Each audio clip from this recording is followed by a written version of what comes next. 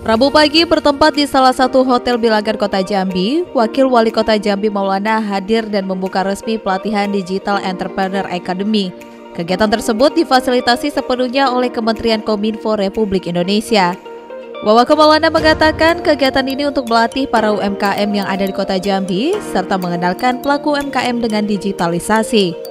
Wawa Kemalana mengatakan pihak pemerintah sangat mengapresiasi jajaran Kementerian Kominfo yang telah memilih kota Jambi sebagai salah satu kota yang menjadi tempat kegiatan tersebut.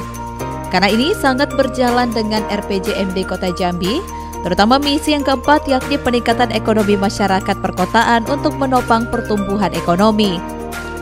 Di mana sebagian UMKM Kota Jambi pelakunya adalah kelompok anak-anak milenial sehingga dengan pelatihan ini dapat memberikan semangat untuk menjadi seorang entrepreneur yang didasari dengan digitalisasi atau teknologi informasi.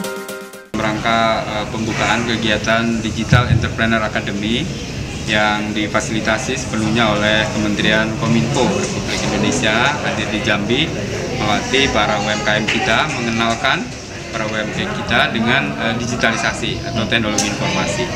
Kami atas nama pemerintah sangat mengapresiasi kepada jajaran Kementerian Kominfo yang memilih Kota Jambi sebagai salah satu kota tempat kegiatan ini karena ini sangat sejalan dengan RPJMD Kota Jambi terutama misi yang keempat yaitu peningkatan ekonomi masyarakat perkotaan untuk menopang pertumbuhan ekonomi. Jadi UMKM di Kota Jambi, kelompok anak-anak milenial ini supaya lebih semangat untuk menjadi seorang entrepreneur didasari dengan digitalisasi atau teknologi informasi. Oke Pak, tadi kan ada peserta Suci Mahayanti, Jambi TV.